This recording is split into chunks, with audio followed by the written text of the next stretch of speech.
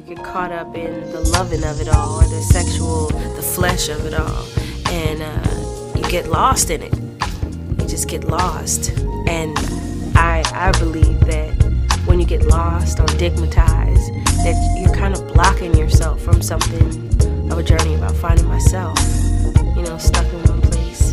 You know, it's all about the pleasure of it all and not about the person or if you can have an hour conversation or if you can sit in silence for 45 minutes or an hour or a day. You know what I mean? It's more than that. And I, uh, for this record and for this time, um, my journey of a journey about finding myself, I realized that I have been dickmotized in the past um, by choice. Um, and that, that leads to, this record and for this time, um, my journey, um, and there that leads to uh, celibacy to a certain degree.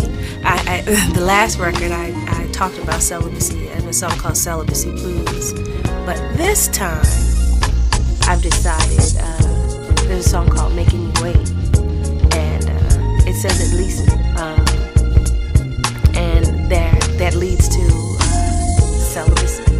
to a certain degree. I, I the last record I, I talked about celibacy and a song called Celibacy Blues, but this time I've decided. Uh,